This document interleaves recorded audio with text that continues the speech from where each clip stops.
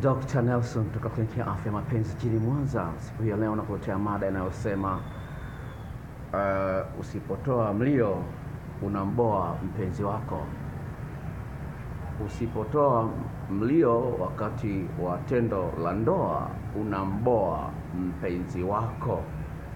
Msikilizaji, nimekuletea mada hii kutokana na tafiti mbalimbali ambazo nazifanya za kuweza kuangalia ni maeneo gani watu wanashindwa kuridhika na mpenzi aliye naye, ni maeneo gani watu wanashindwa kutosheka na mpenzi aliye naye. Nimekutana na tafiti moja ambayo inaonyesha wazi kwamba utoaji wa sauti wakati wa kufanya mapenzi una faida kubwa sana, kwa sababu ina communicate, inamjulisha mwenzio kwamba anachofanya ni kizuri na silo vile vile, bali silo hilo peke yake, bali vile vile inamsaidia mtu ajione kwamba anajua kitu anachokifanya na sio kwamba anabahatisha. Kwenda kurudia sasa, mbili, sawa. Unapokuwa unatoa mlio wa aina mbalimbali wakati wa tendo la ndoa, namba moja, unasaidia mwenzio aelewe kwamba anachokifanya ni sawa, na vile vile inamwongezea hali ya kujiamini kwamba yeye anajua, sio anabahatisha na vile vile inakusaidia wewe kupata hisia za kimapenzi na kurahisisha kwa wewe kufika kileleni, uwe mwanamke uwe mwanaume. Na utakapokuwa unafika kileleni, kama kumekuwepo na maandalizi mazuri na ya kutosha, itakuwa ni rahisi sana kufika kileleni kwa mshindo mkubwa sana na kuteza kumbukumbu ambayo utamwona mpenzi wako ni wa thamani sana. Katika tafiti hii, tafiti hiyo imeonyesha kwamba kwamba wale ambao wana tabia ya kufanya mapenzi alafu kuna aina fulani ya mlio unatoka, hata kama ni miguno, sawa wanakuwa na hali ya kuridhika na mpenzi aliye naye zaidi ya wale ambao hawatoi milio au mguno wa aina fulani. Utafiti huo uliofanyika huko uh, uh, Marekani na Dr. Patty Besnier unaonyesha wazi kwamba ni njia ambayo inaovuta watu kwa karibu zaidi, na hii ule msulio unaotoa unarekodiwa kwenye akili ya mpenzi wako na unakuwa ni sehemu ya mawazo yake. Sasa nikusomee, ninapozungumza kwamba ni sehemu ya mawazo yake, nikusomea meseji ambayo dada mmoja amenitumia asubuhi hii ya leo, uweze kuelewa uzuri wa vitu kama hivyo. Naomba nikusomee message ambayo amenitumia kwenye WhatsApp. Uh, simtaji jina lake, watu wengine wanaogopa, rafiki nitataja majina yao, nitasoma namba yao hapa. Si kweli, sina tabia hiyo na sijawahi kufanya. Sawa, message yake iko hapa sawa. Unaweza kuona hii ni simu ya WhatsApp, huwezi ukaiona namba yake hapa, lakini unaona tumekuwa na chat naye, unaona message sawa. Okay, ngoja nikusomee message hiyo sawa, aliyonitumia asubuhi ya leo. Jina lake eh, nalificha nalihifadhi. Sema hivi, Dokta, habari za asubuhi. Ilikuwa saa ngapi? Saa moja na dakika nne dakika kumi na nne asubuhi. Sawa, simu yangu inaonyesha hapa, ilikuwa saa moja asubuhi na dakika kumi na nne Sasa hivi na shoot video hii ni saa tisa Sawa, ni siku ya leo. Sasa hivi, Dokta, habari ya asubuhi. Mambo ni moto sana baada ya kuangalia zile video zako za mafundisho na majarida yale ya jinsi ya kufanya urafiki na uume wa mwanaume na ile chovya chovya ya korodani ambayo ni video mpya ulioitoa. Anasema yaani, jamaa huku anapizi huku anapiga kelele na kutaja jina langu.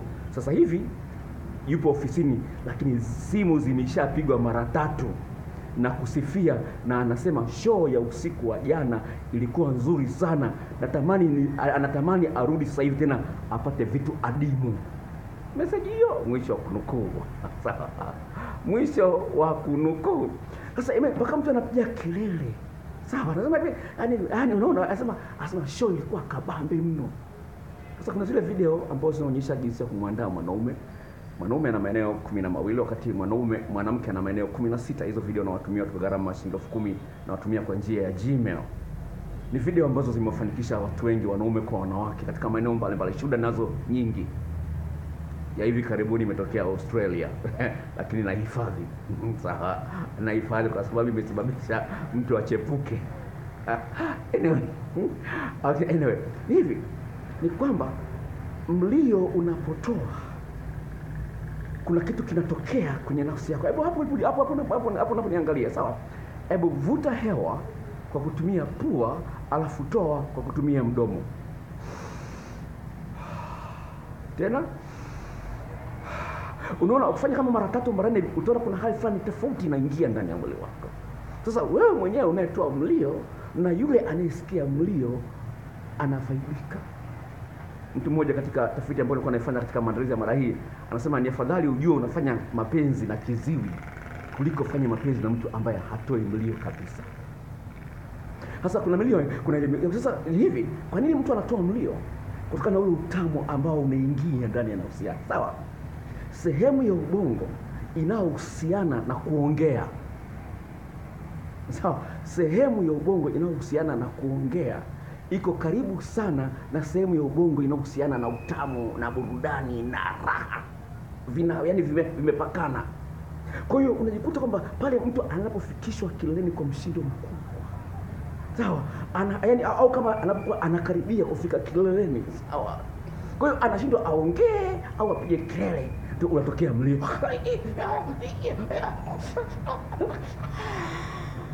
Unaona? Kwa hiyo unaweza kuona. Kwa hiyo ni feedback, ni mrejesho ambao unaingia kwenye akili ya mpenzi wako, uwe mwanaume au mwanamke. Kupa story nani, shuhuda za kina dada ambao wanazungumzia utamu wa jambo hilo. Nasema hivi, nasema kwa Kiingereza, nasema I love so I, I, I, I, love words. If my boyfriend tell, tells me something like you are beautiful it feels good during love making I instantly get much pleasure pleasure out of it. Throw some words and do some groaning and and moaning and that will set me on fire it intensifies the love making. Anasema hivi napenda mwanaume ambaye anaongeaongea wakati wa kufanya mapenzi. Sawa? Haraka akiwa ananisifia lakini akitupiamo mle mguno na mlio. Anasema inanifanya niwake moto. Anasema inaongezea mshinikizo wa raha. Sasa huyu dada ambaye nimesoma meseji yake kwenye whatsapp sawa angalia anasema kwamba niasome tena anasema dokta habari asubuhi? Mambo ni moto yaani baada ya kusoma zile video clips na yale majarida mpenzi wangu amepizi huku anapiga kelele na kutaja jina langu. Sasa yupo ofisini simu zimeshapigwa mara tatu na kusifia. Anasema show ya usiku wa jana ilikuwa nzuri sana. Anatamani arudi tena apate vitu adimu. Anaweza u- kama kuna moto kwa nini mtu atulie? Mm, moto wa kimapenzi sasa wewe kama mwanadamu unashindwa hata ku- kumwiga bata. Bata akifanya mapenzi unasikia unaona anafanya kichwa hivi. Bata ushamwona bata? Unapata jiki wakati mwanaume anataka kutoa mnyololo wake. Bata anataka kutoa mnyororo wake. Unaona bata ana- kelele kama hizo sasa ni mambo ambayo yamefanyiwa utafiti na yanaonyesha jinsi gani watu walio kwenye mapenzi wanapasa washirikiane katika hali ambapo kila mmoja anaridhika kwa kiwango kikubwa cha juu. Mwingine akasemaje kwa kiingereza? Asema without noise it is hard to know if you are doing something right. I will be extremely concerned if there wasn't any. Anasema hivi. Asema bila bila bila bila kuwepo na milio milio hiyo asema ni vigumu kufahamu kwamba unachofanya ni sahihi. Asema nitakuwa nitakuwa najisikia vibaya sana sana. Asema extremely concerned pale ambapo naona hakuna mlio wote ule. Mnaanza mpaka mnamaliza hakuna mlio wote ule. Hizi you ai- so- hawa ni watu hizi ni, ni story kutoka kwa watu. Mwingine anasemaje? I love to make noises during love making. And for the record i love when guys are vocal it enhances the experience anasema hivi napenda pale ambapo kuna kuwepo na milio milio. Anasema yani kwa kumbukumbu yangu ninapenda mwanaume ambaye anapenda kutoa sauti. Milio hiyo. Anasema inaongezea utamu kwenye hilo tukio. Inaongezea utamu kwenye hilo tukio. Mwanamke mwingine akasemaje it is the only way i reach orgasm. Anasema hiyo ndio njia pekee ambayo mimi inarahisisha mimi kufika kileleni kwa wanaume kwa wanawake ni vitu ambazo ni vitu ambavyo vinapaswa viwepo ili mpenzi wako ajisikie amekamilika. Neno la kitaalamu kama unataka kuangalia kwenye Google kwa kwamba unafahamu Kiingereza inaitwa cupo eh, eh, inaitwa cupulatory vocalization. Cupulatory vocalization. Unaweza kuangalia kwenye Google utaiona yenyewe. Hata wanyama kama masokwe mtu na nini na, na, na tumbili wamefanyiwa utafiti wanavyo vitu kama hivyo. Sasa kama wanyama wanavyo, wewe kwa nini unashindwa kuvitengeneza? Je, yeah, wewe unatoa mlio au unakaa kimya kama jongoo Na kama unakaa kimya kama jongoo, unafikiria mpenzi wako anajisikiaje, anakufikiriaje, umeboreka na yeye au vipi? Sawa, hicho ni kitu ambacho inapaswa ukifanyie. Nasema mwingine akasema kwamba it's a clear sign that he is enjoying having me and I'll be, uh, and all that I do. Nasema ni njia pekee ambacho mtajua kwamba mpenzi wangu anafurahia kuwa na mimi kitandani. sema ni njia pekee. Kwa kuna mambo mbalimbali ambayo unapaswa uyasababishe ili mpenzi wako apige kelele, ili ujithibitishie kwamba ninachofanya kitu sahihi na kitu toshelevu. Kwa hiyo naomba agizia hizo video zitaweza kusaidia kusababisha mambo kama hayo, na majarida ambayo nakutumia, kuna vitu kama saba tofauti ambavyo nitakutumia vitaweza kusaidia kutengeneza vitu vya ajabu sana, na hii inawezekana kutoka kliniki ya afya ya mapenzi. Ukitaka kujisajili, kuna kibox chekundu pale kimeandikwa subscribe kwa bofya.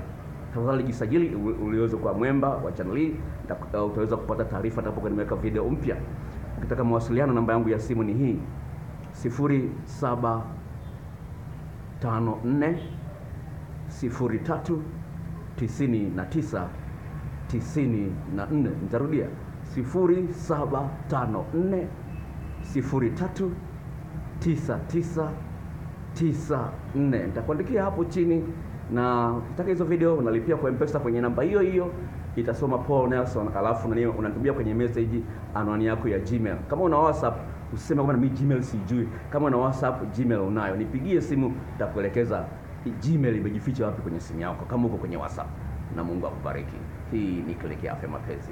Kwa heri.